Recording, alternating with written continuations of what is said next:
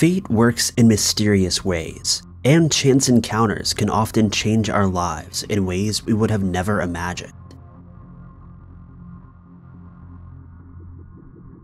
Number 5. When she was just 18 years old, Carol DaRonch from Salt Lake City, Utah, came face to face with one of the most evil men to ever walk the earth. Carol left her home on November 8, 1974, to go to the mall and pick up some books. Little did she know that one chance encounter would change her life forever.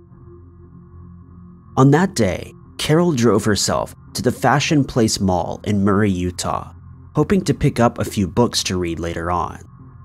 She was browsing and making her way through the bookstore when she was approached by who she thought was a policeman. Carol later explained that the man was wearing a police officer's uniform, and the badge he presented to her was extremely convincing.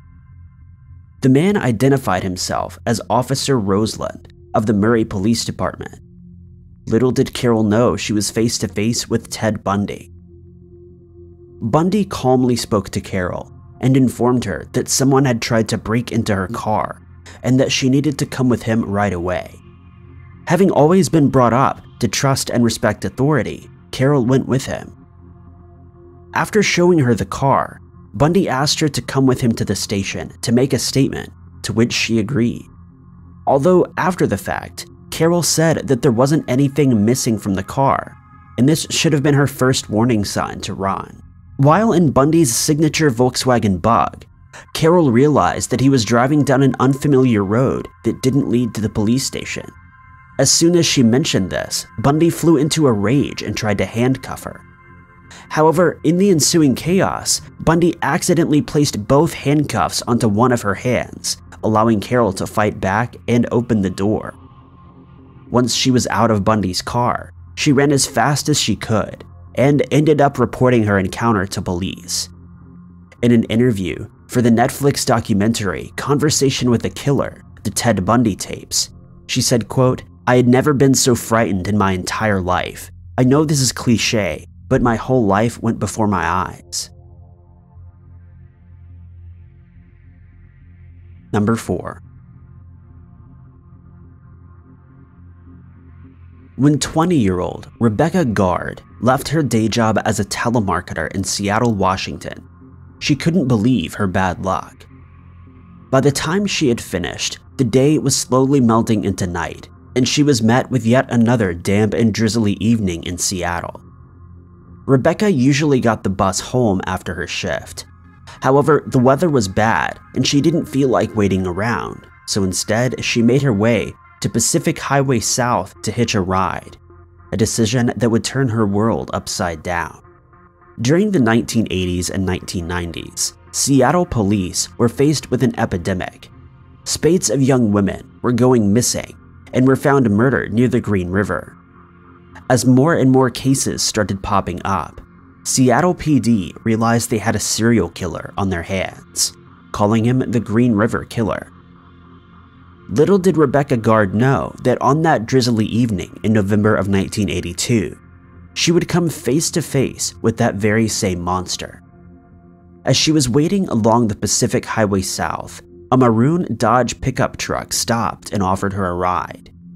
He also offered her $20 in exchange for a particular act.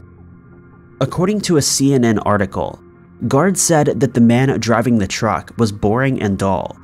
She had no reason to suspect anything and was more than happy to earn some easy money. During the drive, the man pulled into a trailer park and instructed Garde to get out of the truck and follow him into the woods. She panicked and did as he asked. Talking to CNN, Garde recalled the event, saying, quote, All of the sudden, he starts grabbing me and we're all over the place. He tried to cover my mouth and nose, I just kept trying to breathe. He smothered me on the ground and he was sitting on top of me. Meanwhile, my thoughts are racing, saying, No, this is not my time. I want to grow up. I want to get married. I was like, This guy is not going to kill me. I don't belong here. I'm in the wrong place at the wrong time. Amazingly, Garde summoned the strength to overpower Ridgway, throwing him into a nearby tree, allowing her to run to a nearby trailer and get help. Ridgway didn't follow her as he was in a state of shock. His victims always fought back, but they were rarely successful.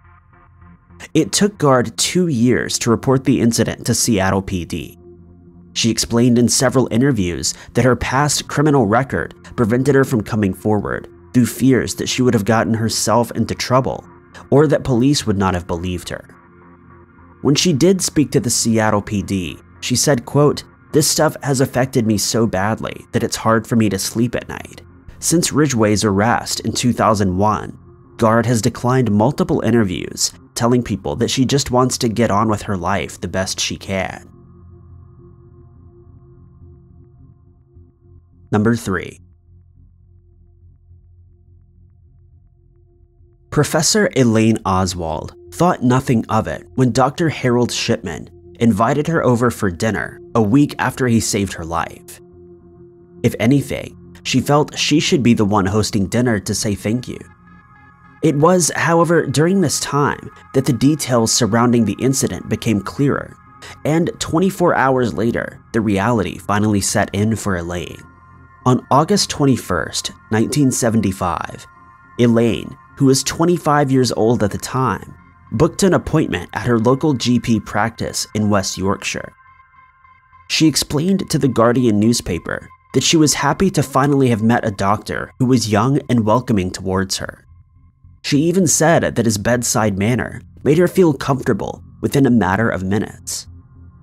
Elaine had booked the appointment to speak with the doctors about pain in her left side, which the doctor prescribed an opiate painkiller for. Dr. Shipman explained to Elaine that she most likely had a kidney stone and that the painkiller would help until further tests could be run. He instructed her to go home and take two of the tablets and leave her front door unlocked so he could come by and take a blood sample later. While this may seem odd, it was common practice in the UK for doctors to perform home visits during the 1970s. Some doctors still offer house calls for elderly and vulnerable patients. When speaking to the Guardian newspaper in 2001, Elaine said, quote, he was very interested in the antique furniture that we had in the bedroom, and we were chatting generally. I know he put a needle in my left arm, but I wasn't sure what he was doing. I assumed he was taking blood because that's what he told me he was doing. I seem to remember that he was moving across my body to do something to my right arm, but I don't remember anything after that. The next thing that Elaine remembers is Dr. Shipman hovering over her, trying to keep her stable. He told her and the paramedics that arrived at the scene that she'd had an allergic reaction to the painkiller. She was transferred to the nearest hospital and was treated for her condition. It wasn't until 24 years later, in 1999, that Elaine learned of the criminal case brought against Dr. Shipman for poisoning his patients with a lethal combination of drugs. At the trial, Elaine chose to testify, saying, quote, For all this time, I have truly believed that Dr. Shipman saved my life. However, when I read about his modus operandi, I realized that I may have actually been one of his victims. Number 2. On August 21, 1982, 19 year old Denise Williams came face to face with a man known only as the Weepy Voiced Killer.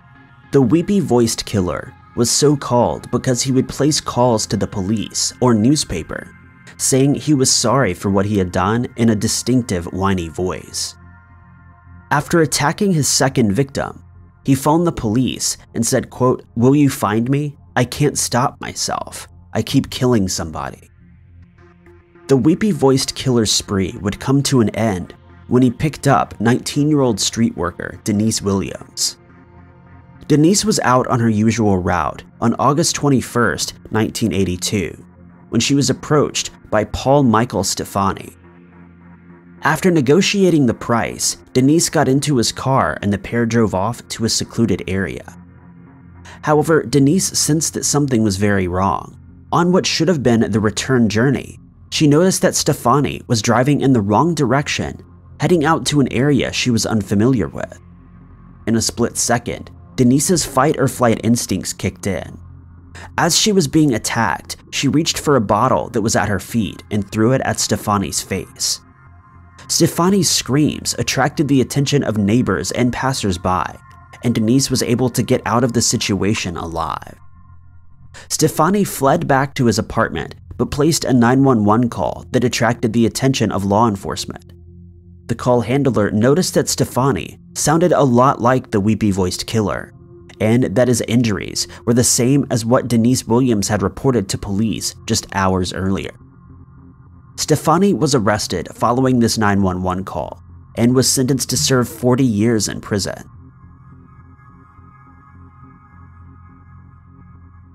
Number 1 19 years old and 3 months pregnant, Maria Viricheva's life was rapidly changing day by day. Maria had moved from a Republic of Russia to Moscow as a child and worked hard to set up a good life for herself and her children. On February 23, 2001, she would have a chance encounter with Alexander Pichushkin, also known as the chessboard killer, so called because he would write his victims' names on a chessboard, hoping to kill 64 people to fill it. On that February day, Maria had just finished up at her new job for the day. However, she didn't want to go home as she and her boyfriend, the father of her child, had gotten into an argument earlier that morning. Maria wandered into the Moscow metro, and that's where Alexander struck. Noticing that she was in an obvious state of despair, Alexander knew that she was primed for the picking. He sympathetically approached her and struck up a conversation with her. In an interview with the Russian newspaper, Maria revealed the details of that conversation, saying, quote, Come with me. I hid the contraband goods in the forest, and then will you share the money with me? Maria welcomed the conversation and found Alexander kind and understanding she agreed to go with him to a park, and more specifically, to an area known for alcohol and contraband sales that were very lucrative. However, when the two arrived, something inside Alexander changed. He overpowered Maria and threw her down a 30 foot well. This was the same well that Alexander used to dispose of his victims. Amazingly, Maria managed to cling to the sides, all while being injured from the beating she had endured beforehand. Realizing what was happening, Maria played dead, causing Alexander to leave, believing that his job here was finished. After he had left, Maria began screaming for help, which caught the attention of others in the park who were able to rescue her. Maria reported the situation to the police. However, they refused to file a full report due to her being from a different area. She was forced to drop the report, and Alexander was able to get away unpunished. He would continue on his spree until 2006, when he had claimed the lives of 49 people. Thank you guys so much for watching. If you like this video, be sure to click that like button. Also, don't forget to subscribe and click that notification bell to keep up to date with all of our future uploads. But I've been Ty Notts, and I'll catch you guys in the next video.